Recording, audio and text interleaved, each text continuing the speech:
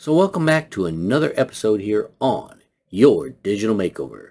My name is Jerry Colbert and in today's episode it's going to be part two of my TickTick system and it's all coming up next.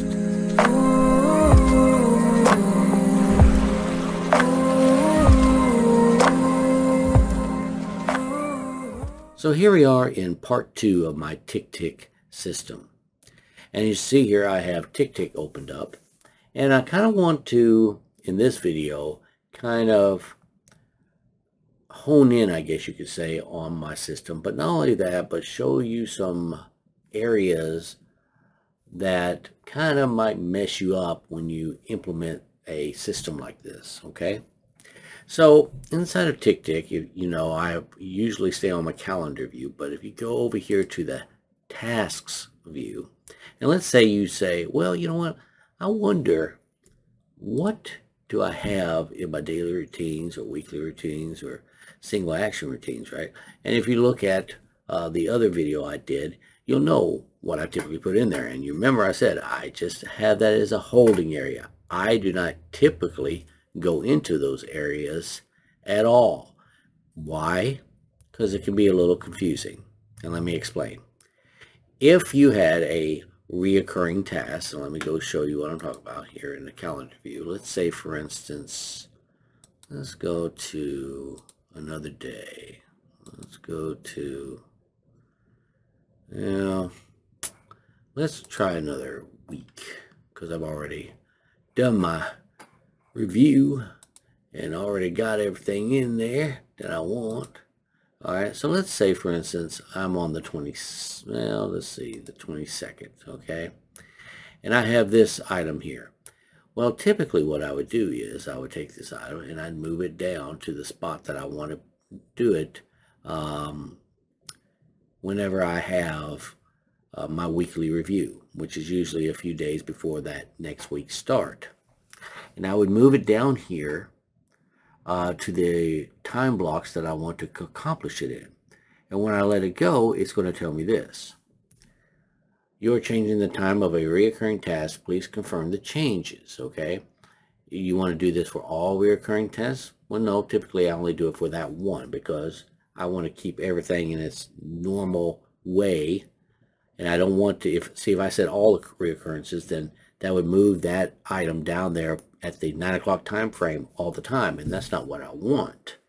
I want to be able to move that whenever I want to on a reoccurring task, and only this reoccurrence just one time. I just want to do it that one time uh, whenever I do my weekly review, right? Because who knows, I might have had to schedule a appointment or whatever, and if I always put it down at 9 o'clock every time, then all this, I you know, it gets kind of messed up, and I don't know when I could schedule stuff because I got stuff all over the place. So that's why a lot of these recurring tasks are up here in the all-day event area up here, but they're not really all-day events. They're just tasks that I haven't really assigned that day to a time. Okay. But the problem is, is when you go ahead and hit OK there and you select that, right, it breaks it up inside of the container folder that I was just talking about, right? Over here, in the daily routines or weekly routines or what have you, it's going to break it down. So if you ever go over here to your weekly routines and you're just looking at stuff, you're like, well, some of these are routines and some of these look like they're single action tasks. Why are they over here? Like for instance, this one right here. It's like, it's not reoccurring because see, there's the little circle there showing that it's reoccurring, but it's not reoccurring. It's just a single task because when you break it apart, it breaks it apart inside the container folder. So don't go into the container folder once you get it all set up and you're dropping stuff off there. There really is no reason to go in there. You'll just get confused. All right. Um, and that goes for a lot of this stuff. It just it's just extremely confusing when um, you're like, well, I thought this was all supposed to be in a single action for these items that are not reoccurring. Hopefully that made sense.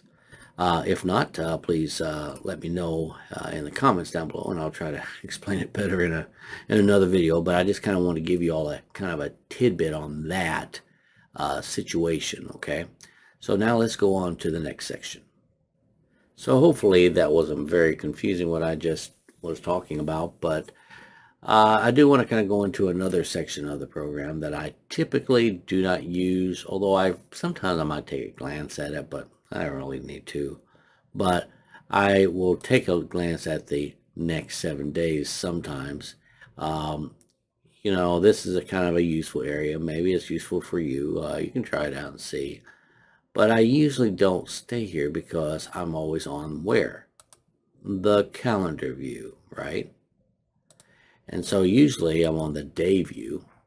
And then if I ever need to um, switch some stuff around or what have you, I might go to the week view, right? And you can kind of skip around the seven day blocks like that or or maybe even the month view. But really, I don't go to the month view. I usually stay on the day view. So there's really no reason for me to pretty much be anywhere else, right? And so when I do my weekly review, I usually will be on one day, I'll fix that day, then I'll go to the next day, fix that day the way I like it, go over to the next day, fix that day the way I want it, whenever I do my weekly review, which by the way, we'll go over that later on in this um, video on how I uh, usually typically accomplish uh, such things. But uh, do I use the seven day or next seven days? Nah, not really. But you can, you know, it could be possibly useful to you. Uh, so let's go on to the next section.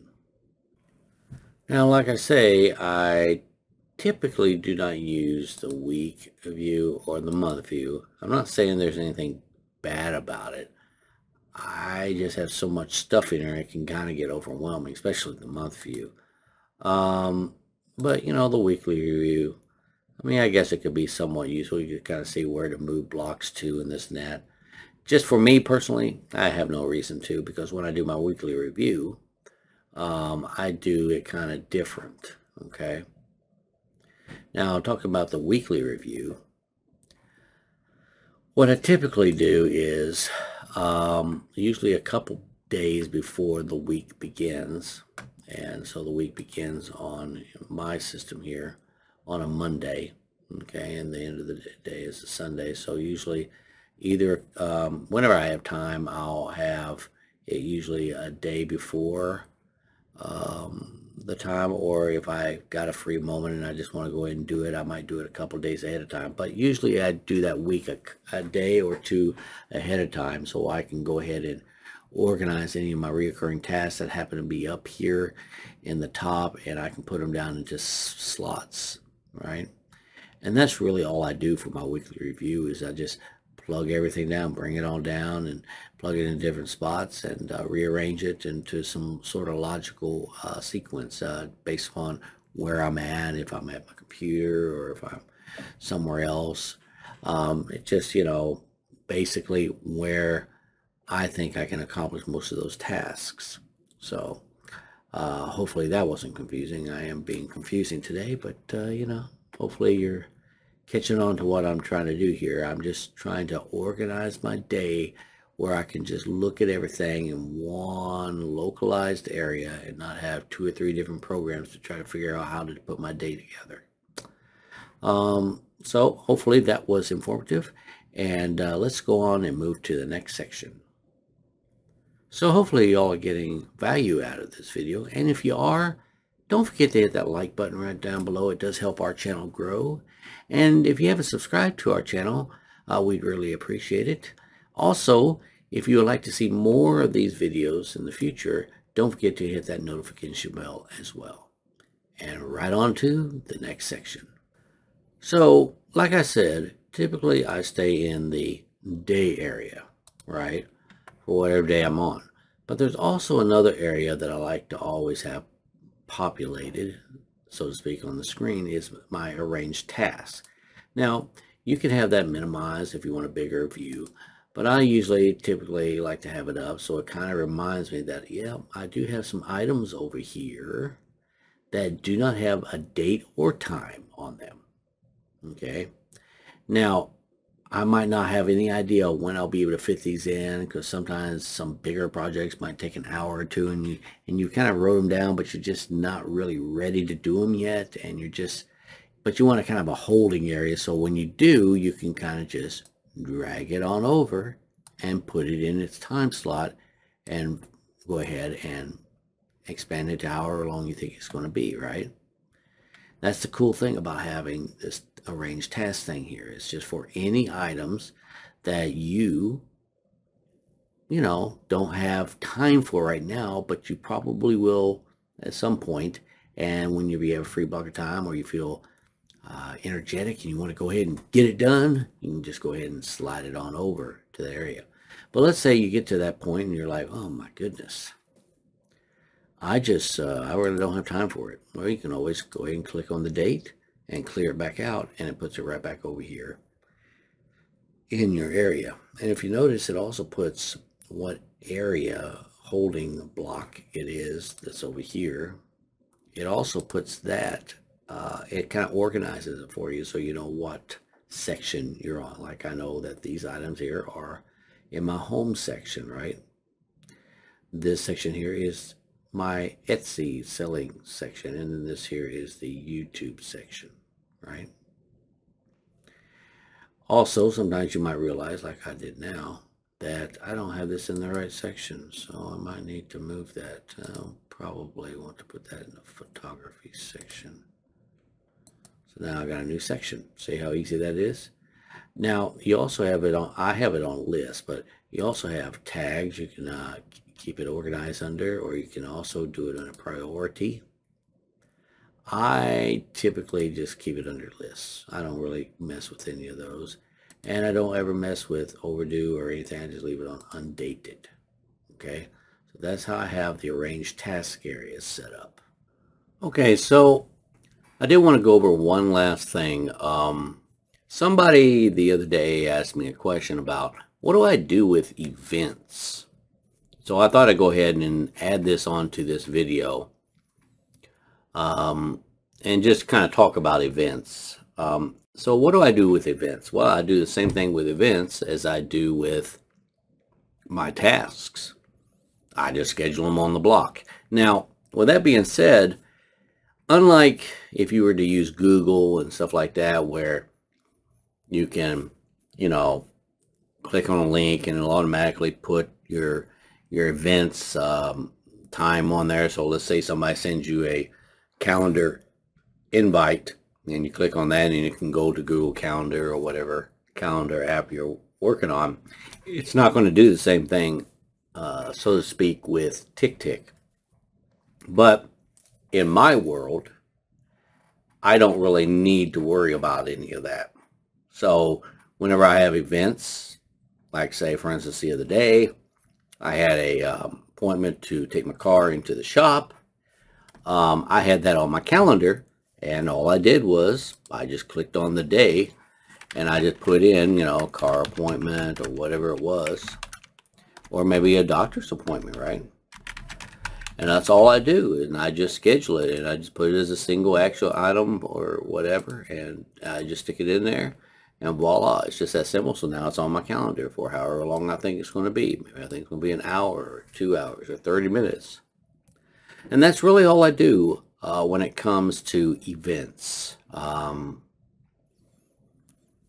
I know that, you know, some people are like, well, yeah, but I like how, you know, Google's integration with, you know, clicking on the links and stuff like that and uh, how the events go in there. But for me, in my world, it just makes sense for me to just schedule it like that. It doesn't take me long to just put car appointment or whatever. Now, let's say, for instance, Maybe it's a webinar meeting, right?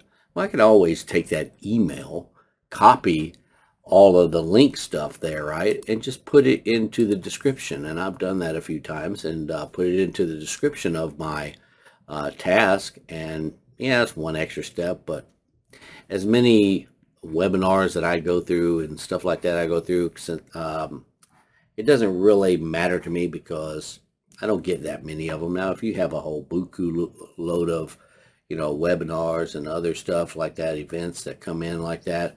Um, maybe that's, you know, this ain't the right system for you. Um, but for me, this works, you know, perfectly. Is it completely perfect? No, there's some things uh, with TickTick that are, you know, slightly annoying, but uh, it's not really that big of a deal um, where it would be a deal breaker for me to, you know, give it up. So anyways, I hope that answers that question. So this video is not going to be a very long video, but I do want to kind of give you all an idea of what I am doing with my system, okay? Um, now, undoubtedly, I probably have left something out. If so, uh, please feel free to leave me a comment down below and ask me any questions you have, okay?